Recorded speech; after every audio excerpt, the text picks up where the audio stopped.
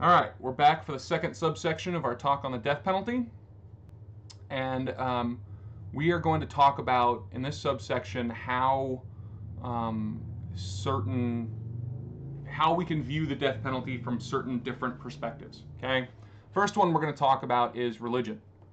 Um,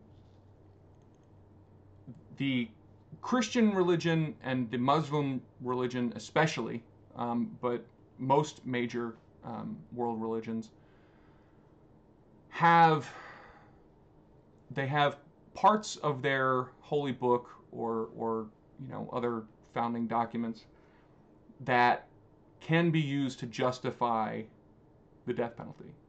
Okay, there are parts of the Holy Bible where you know God executes people. There are parts of the Holy Bible where you know the just rulers execute people. Um, similar with the the Quran. Um, so those books have been used to justify the death penalty going back, you know, since they were written. Um, but there are also passages from those same books that seem to condemn the death penalty, right? So in the Quran, there's a there's a line which obviously translated from Arabic says even the taking of one life in retribution is too many, right? Which is essentially what the death penalty is. It's retribution for these, you know, you committed crimes, thus we're going to have a re- retributive punishment upon you and commit murder to you back. The Bible has a couple, right? Judge not lest ye be judged, right? Judging is for God, not for us.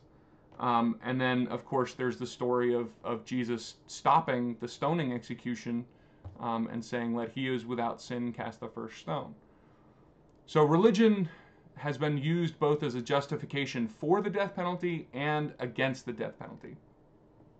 21st century, most major religious groups have come out against the death penalty. There's a there's a quote from the the current um, uh, Catholic Pope, um, who's so the the Catholic Church is very much against the death penalty. Um, so are most Jewish groups, most Buddhist groups, most Hindu groups. Um, on the other hand, there are still a lot of countries that still use it, and and um, a lot of religious groups that still justify its use. Um, many of the the kind of American um, evangelical churches will justify the death penalty using the Bible. Um, most, um, or I shouldn't say most, many Islamic countries still um, use the death penalty and justify it using the Quran.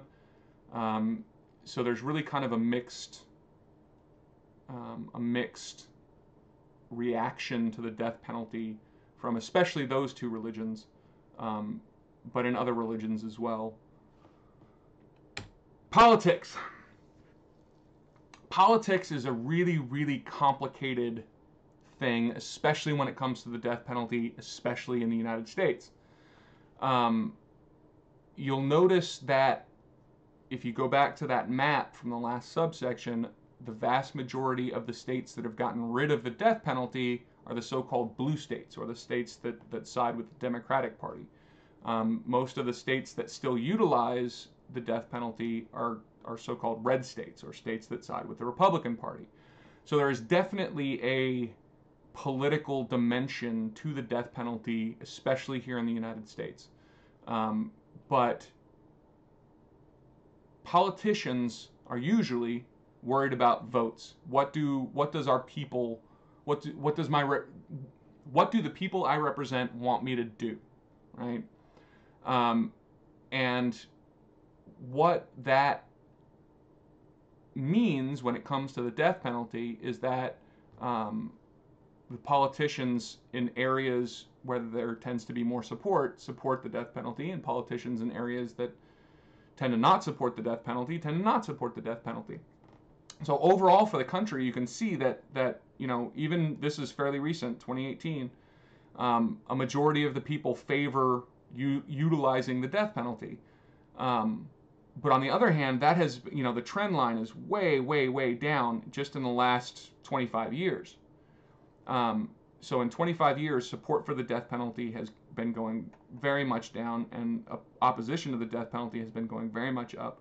Um, so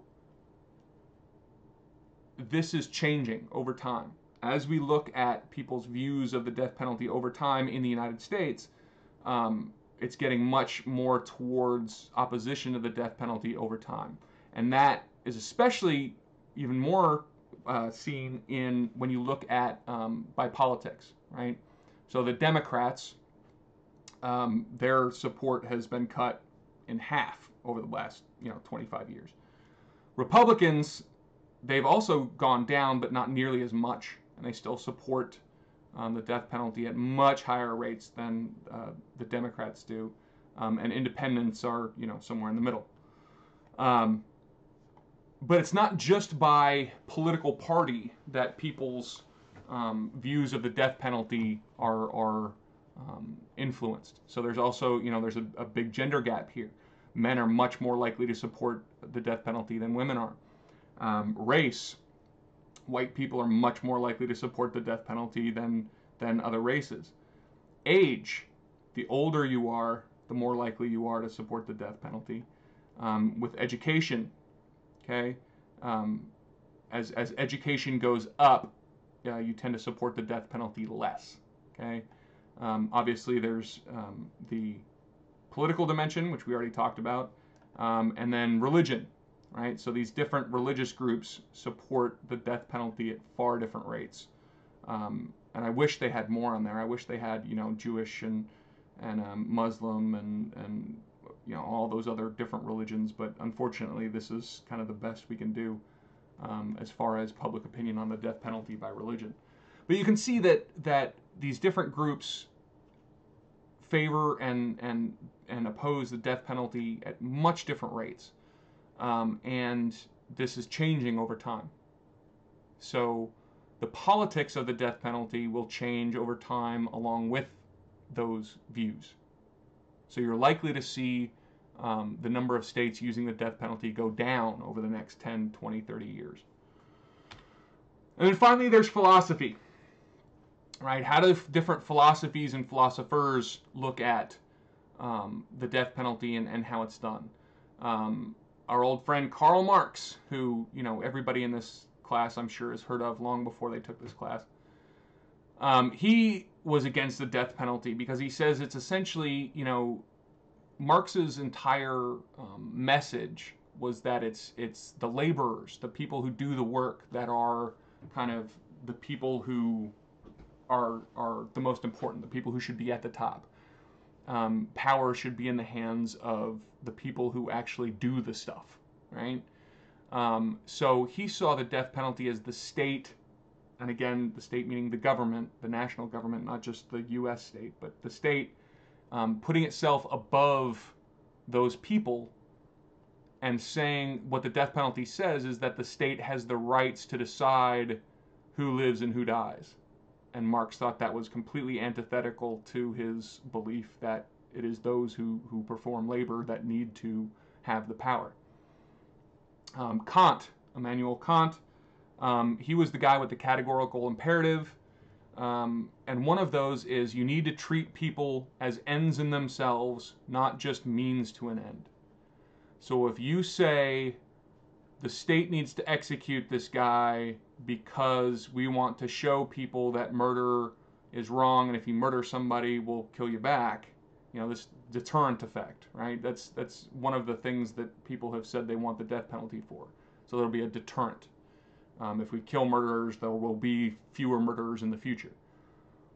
Kant points out that that's treating the people you're executing as a means, not as an end in themselves. So it violates his categorical imperative, right? Um, but there's two big problems with the philosophical arguments that um, are given in favor of the death penalty. Um, and, and multiple philosophers from multiple different schools of thought have come back and back and back to both of these. The first is that people aren't rational. Like so much of the reasoning behind the death penalty is that people will understand and make this rational decision to not commit murder because they know they're living in a place where they could get the death penalty for murder. And in fact, people aren't rational. Um, people don't commit murder especially, but people don't make choices overall, mostly, um, based on rational um, input output pleasure pain principles. They don't. Um, so, because of that, since people aren't rational, they're not going to think about, oh, I could get the death penalty for doing this. I better not do it. They're not. They just don't. Um, and of course, the second problem is the problem of innocence. Right? Nobody has created in anywhere in the world a perfect criminal justice system. It's just not. I mean, we work for we work towards it. You know, I've devoted my life to help trying to improve the criminal justice system, but nobody has made a perfect one. Um, and as such, if we have the death penalty, that means some number of innocent people are going to be sentenced to death. And you can argue whether it's a very low percentage or, or a relatively high percentage, but you can't argue that it's zero. You can't. There's just there's no way knowing what we know, we like we are absolutely sure that some number of innocent people are going to be sentenced to death if we have the death penalty as a legal option. The question is are we okay with executing innocent people to get whatever benefit we get from having the death penalty? Is it worth it? Is it worth killing people who didn't actually commit any crime in order to get whatever perceived benefits um, a, a, state or a country is going to get from having the death penalty?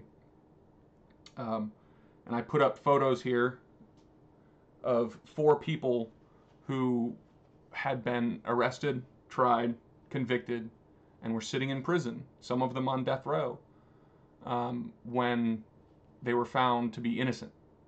There was a new piece of evidence or a new something, um, and they, uh, uh, you know, the courts ultimately realized, oh, wow, this guy's sitting in prison, some of them on death row, didn't actually commit this crime. We should probably, you know, let them out. So those four people were all freed uh, from prison um, for crimes they didn't commit. Um, if you're interested in this, um, you should look up either the website or on social media a, a, group called the Innocence Project. They're a really great group, and I, I really enjoy um, the work that they do. But anyway, we'll be back for a third subsection on this subject. See you then.